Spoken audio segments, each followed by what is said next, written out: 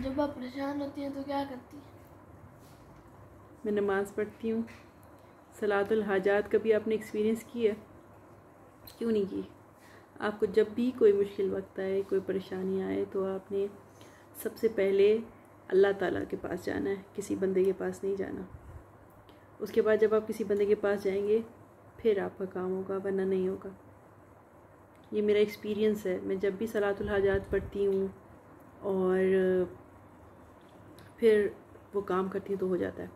और दूसरा ये कि सलातुल हाजात कोई बहुत बड़े बड़े कामों के लिए नहीं होती। जब आपके छोटे छोटे काम भी रुक जाएँ या आप किसी बहुत ही अजीब किस्म के इसतराब में मुबतला हों और आप टेंशन में हों, सैड हों तो आप बड़े बड़े मोटिवेशनल स्पीकर्स को सुनने की बजाय अगर सलातुल हाजात पढ़ें तो आपकी ज़िंदगी में मौजात रूनुमा होना शुरू हो जाएँगे। आपने प्रॉमिस करना है कि आपने सलातुल हाजात पढ़नी है। सलातुल हाजात में आपने कोई बहुत बड़ी बड़ी अगर आपको रखा दो दुआएँ याद नहीं है, आप बिल्कुल ना पढ़ें।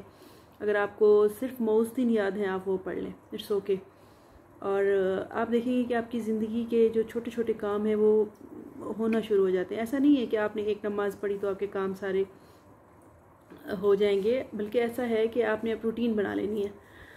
अक्सर हमें जो फ्रस्ट्रेशन होती है, वो इस वजह से होती है, क्योंकि हम नमाज़ पढ़ते हैं और दुआ मांगते हैं और हमारा ख्याल होता है हमारा काम हो जाएगा।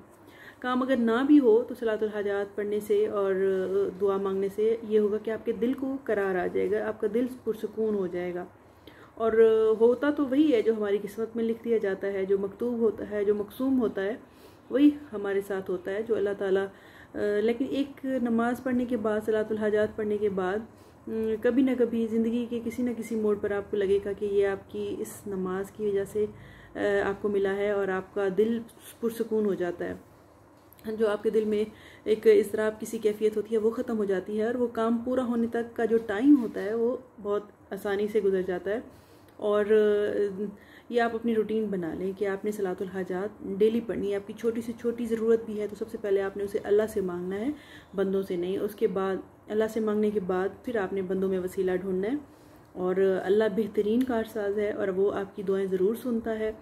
और इस बात का आपको यकीन होना चाहिए और अगर आपकी दुआ कोई उसी वक्त फ़ौर कबूल नहीं भी होती है तो इसमें भी आपके लिए बहुत बड़ी हमत होती है, बहुत ज़्यादा आपका फ़ायदा इसमें पोशीदा होता है कि आपकी दुआ वो कबूल उसी वक्त एट ए टाइम नहीं हुई, बल्कि वो कुछ देर बाद कबूल हुई। इससे आपके अंदर पेशेंस पैदा होता है और आपके अंदर सब्र पैदा होता है। आपके अंदर चीज़ों को बर्दाश्त करने की एक गैर मुरैसी क़वत पैदा होती है। तो इसलिए आपने अपनी ये एक रूटीन बना लेनी है कि अपना कोई भी काम जो आपको रुका हुआ है या आप चाहते हैं कि ये इस तरह से हो जाए तो आपने उसके लिए अल्लाह से मदद तरफ़ तक करनी है और सबसे पहले आपने सलातुल हाजात पढ़नी है।